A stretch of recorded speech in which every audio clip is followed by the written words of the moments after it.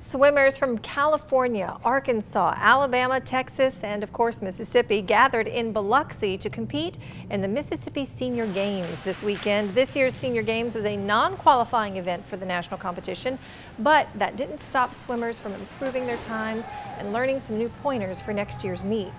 Saturday, teams competed in a number of individual heats and relays and even received medals for their efforts. The Senior Games also provided an opportunity for friends to get together and reminisce about the good times. We have a team from Gulfport from 30 years ago that's having a reunion right now. Um, they all swam for Dana Abbott, Coach Dana Abbott, who's here from Texas who's very involved in U.S. swimming and on a national scale, and so he came over, and they're all swimming together. I got a text uh, a couple of months ago telling me about it from one of my former swimmers, who last time I saw him, he was one of my 13-year-old kids. He's now 60, and he said I ought to come over and get together with some of our old swimmers. And good news, next year's contestants will be able to qualify for nationals.